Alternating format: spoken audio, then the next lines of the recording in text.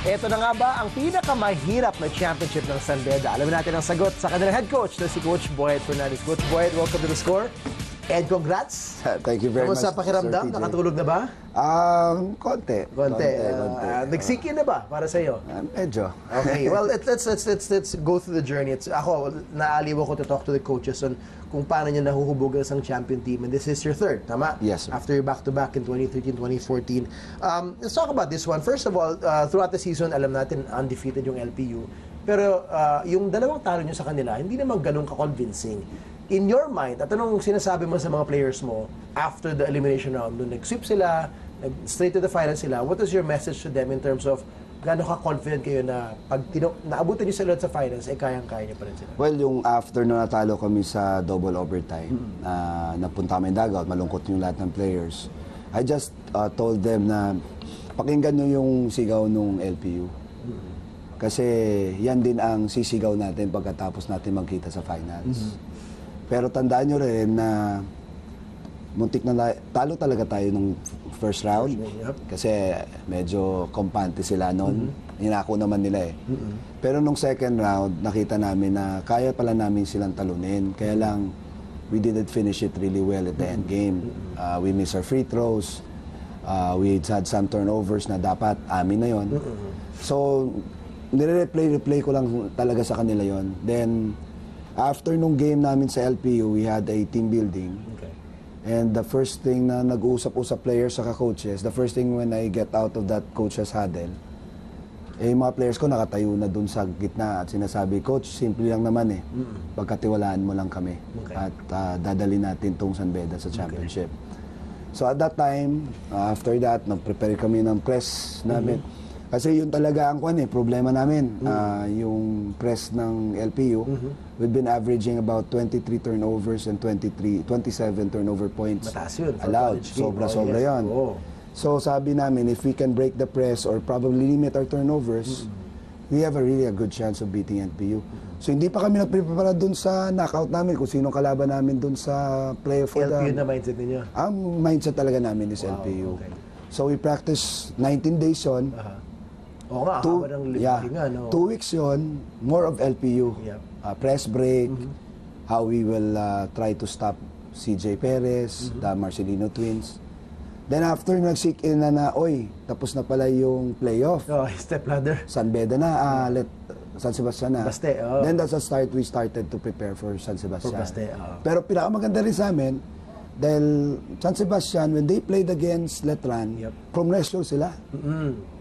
They, uh, GRU pala, I'm sorry. Right, oo. They played GRU. Correct. They forced GRU for so many turnovers. Correct, correct. And they beat their uh, GRU convincingly. So sabi ko, okay, much Same- better na preparado pala tayo Same kasi game plan, pretty same much. game plan. Oo. So, yung ang game plan namin sa Baste, sa San Sebastian, nung nakuha namin yung game na yun, sabi ko, why adjust? Kasi, kuan eh, Halos ah, pareho three din. days na lang eh. Correct. So sabi ko, Dikit lang. Continue na lang natin yung game plan natin. We know that how CJ beats us on on his penetrations, lahat ng kay Kaduyak. So gano'n na lang. Doon lang adjustments natin. Pero yung press break, yung pick and roll D namin, pare-pareho lang yung game plan. But din. again, sabi ko, why change if Correct. it's working? Nung, nung pumasok kayo sa game 1, um, did you have a sense na nakadali din sa kanila yung mahabang pahinga? We've seen it before in other teams. Like the most famous of course, yung sa- sweep ng UE, nanalo sa pala sa Salazar, di ba? Yung kanilang pahinga, pareho lang, parang three weeks din, eh, no? Three weeks. Yun naman dahil sa 21 days yun. Yung may knockout at may bagyo, Yes. dami pang ano. Pero similar length of uh, pahinga na ensayo lang, nag-practice game sila against Alab. Um, do you think that mattered to them somehow? Or after siguro the first half, medyo na-shake off nila yung Well, kalaban? knowing about, uh, knowing Coach Topics, how he prepares, I think hindi naman naapekto sa kanila yung pahinga, mahabang pahinga kasi they really practice hard just like we practice no 19 days kami nagpahinga. Tapos they practiced a game with Alav, muntik na nga nila matalo yon. They beat they were only beaten by 5 points. Kami nga nag-practice game kami sa Alav, we're, we're beating by 12. So everybody's been saying that uh, really LPU is a very good team. And o, hindi naman namin dinideny talaga magaling yung LPU.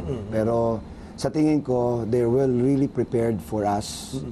And uh, ang maganda lang doon, uh, hindi bumitaw yung players ko. And uh, sabi ko nga, if we just stay close to LPU until the end, I think our defense will really work and uh, probably we can steal one game against LPU. Isang game got- lang naman na kailangan nga. namin eh. When you got game one, gaano ka ka- ka- kakumpiyansa para sa game two? And, and, and your, what's your message to them na guys must win na to? Parang wag natin isipin na back of our minds sa okay lang kahit mag game 3. Anong ano naging mensahe mo sa kanila? Well, ang mensahe ko talaga sa kanila is uh, we know that LPU is a very good team.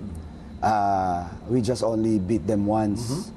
And if you want to win a championship, you have to, uh, to have to beat Right. them another time. So, sabi ko, wag tayong magkumpiyansa na twice to beat sa'yo. Kalimutan na natin yung twice to beat. Basta sabihin natin, knockout pa rin natin to. Kasi, if you give LPU another chance, give uh, Coach Topics another chance, then it will be a problem for us next game. So, sabi ko sa kanila, basta same game plan, no change of uh, scouting reports. Uh, we know what to do. Basta stick lang tayo na we know that they're the number one team in offense. We know that we are the best defensive team in the league. So sabi ko, look at this one. Offense wins games. But doon pa rin ako doon sa defense wins a championship. Rin So, totoo pa rin sa amin. Let's go back to game 2, coach. Napanood niyo na rin yung replay kanina, no? 73 all, 5 minutes to go. Before that, talagang ganunan, nagkaka-runs, diba? Iba, ano, ah, was there something, was there something na nagbago? May nasabi ba kayo during one of the timeouts in that final 5 minutes na nag-switch on yung masasabi natin championship poise ng inyong mga veterano? Well, ang una kong ginawa, ah, maganda depensa ng LPO kay Robert. Eh. So, I never done this. Once in a while, I done this uh, rotation. I put AC Soberano and uh, Devon Fats together. Mm, Sinabay niyo? And then I put uh, JB Mocon in the four, and then Tangkuwa on the five, and then Robert take good care of that pick and roll. So alam ko dinodouble nila si Robert eh. Right. So if we gonna reverse the ball, if Tangkuwa or Donald rolls, and they will help, we're looking for the corners, which is Davon and uh, AC.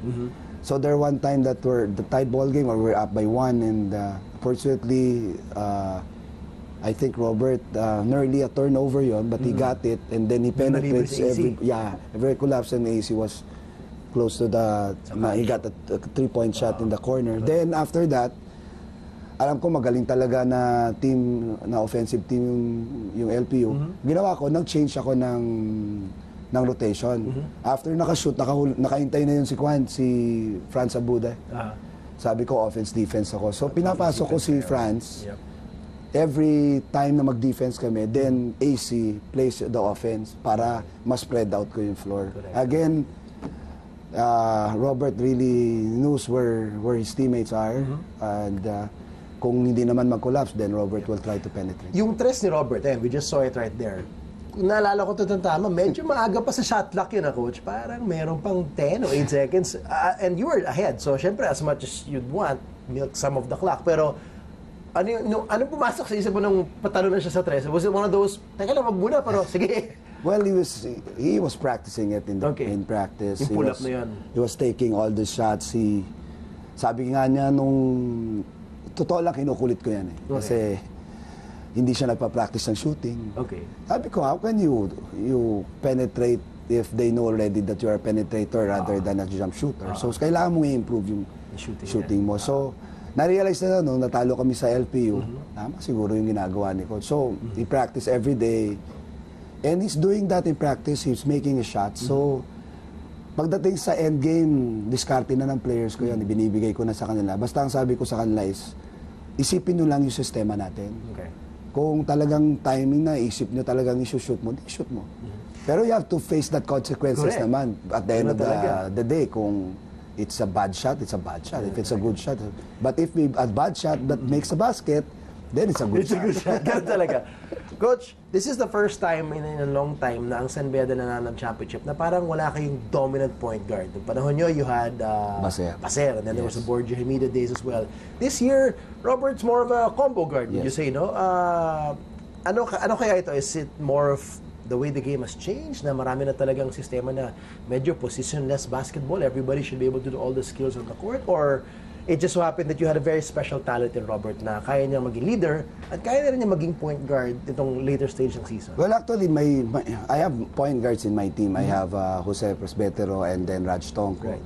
Kasi no, but depending on the the lineup nung kabilang teams, nagma-match up din ako eh kasi I know other teams are really quick like uh, Salado is very quick at Arellano. Then uh, you have Nambata on the other side sa Letran. So talagang nagma-match up ako. And you know that uh, Robert Bolick is one of my defensive player. Right. Of course. So kung minsan, pagdating sa stops, naisip ko, ah, kailangan ko may defensive team ako. So, and you know that um, the other like Franz Abuda are all defensive players. So, syempre, nagmi-mix up din ako ng rotation. But, ah, tama po kayo doon. Si Robert is a two-guard. But, uh, when we played in the D-League, he, he played together with Pamboy. So, I think he learns a lot on Pamboy. Yun. Yeah, kaya medyo siguro yung mentality ni Pamboy na being a point guard na nakuha ni ni Robert and at least uh, if uh, Jose and uh, Raj is not playing, at least meron akong extra point guard na I think it's more dominant in in slashing and really creating um, scores for his teammates. We'll talk a bit, Coach, about this special journey of Robert. Bibihira ang player na ganyan na, you know, he was excited to be part of a big program sa Lasal. He didn't get his breaks, lumipat sa NCAA. And then, not only found a home, but getting the success he's had, no? Ka- anong klaseng journey dinanan ng batang to? At Gaano kasusi din yung, yung, yung mentorship ninyo sa kanya into getting him to this level of his game right Well, unang-una, nakita ko na si Robert when he, I, I, I played against him with Lasal. I was still coaching San Beda before. Right. Ang mentality, ang nakikita ko lang talaga kay Robert is a very good defensive player. So Specialist ang talaga. yeah, ang ang rule ko nga dati kay Robert is just give him space, let him shoot the outside shot. yes. Ah, alam niya na 'yan. Oo. so pero nung nung nalaman ko lumipat sa San Pedro, that's what the time I was still coaching NLEX. Right, oo. I even told Coach Ford araw na you got a special guy ah, with Mm-hmm. Robert. So sabi ko, alagaan niyo yan. And I was happy that he was given a chance by by Coach Jamaic. Right. And he blossomed with under Coach Jamaic na as a defensive player. He Mm-hmm. made stops sa Salado and uh, Halalo Ninja Championship. Correct. Pero nung pagdating ko dito, ang unang tanong ko talaga kay Coach Jude, is Robert staying? okay. Or is the Von spot staying? Oo, Kasi, hindi ka I, yeah, I, I need them. Magpa-draft sila. eh. So, sabi ni Coach Jude, yeah, they're, they're staying. Okay. So, so sabi ko, oh, wala na akong problema. I have a defensive player. All I have to develop against Robert is his decision making Correct. and giving a chance to give him a chance to play. Correct. Kasi magaling eh, mautak. So let him loose a yeah, little bit more. a little bit. But, but syempre, may renda ng konti. Correct, correct, correct. So, ayan, nung nagdalo kami sa D-League, hindi pa talaga siya starter. He's just coming off the bench. He's replacing Davon because. Yeah. Davon is our number two guard at that time. right. So pagdating sa mga defensive uh, matchups, Mm-hmm. doon ko siya pinapasok. But eventually, when medyo may tempo na medyo hindi maganda yung rotation ko sa point, I tried him to the point guard rotation. So nakita ko, oy, may may kwan ako. May secret weapon ako ngayon. Na so, two-way player na Na two-way player na si Robert. Well, so, ayun. Well, speaking of that, uh, anong maasahan ng San Beda fans next year? For sure, every year, they're always hungry for a title. 12 years kayo straight sa finals. Isa lang, di ba? Ang, ang mawawala sa inyo, Davon lang? Davon Okay. lang. Well, um, alam naman natin na every year, they, year in, year out, Mm. uh, San Beda will always look for a championship. Una kong guesting rito, wala akong sinabi kundi I'm, I want to defend the crown that Coach Jamaic had. Mm-hmm. Yep. Tinext ko nga si Coach Jamaic, sabi ko, Coach, at least na-defend ko yung crown mo. But uh, again, yun talaga yung goal ng San Beda is Yep. to make it to the finals and hopefully win a championship.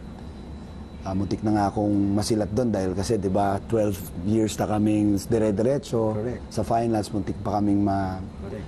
But again, ah, history na yan. So, we won a championship. So, the end, eh, year in, year out, talagang gusto ng San Beda win a championship.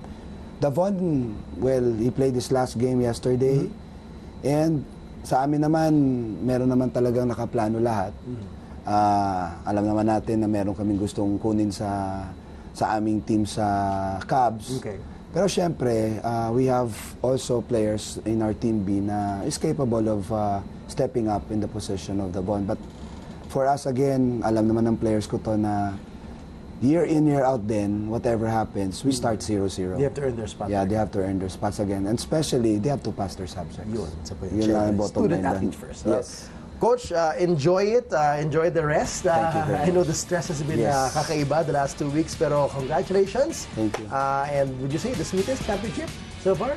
Well, this is one sweetest Mm-hmm. uh, championship. Uh, uh, different um, emotions uh, on all the championships, Mm-hmm. but this time siguro medyo masarap ng konti because I'm coming back from two years off ako sa one. Then it was really a a a, a bad experience or a I was really down last year, but it was really Boss MVP who lifted me out. So to Boss, thank you. And at least binigyan ako ng pagkakataon mag-coach again.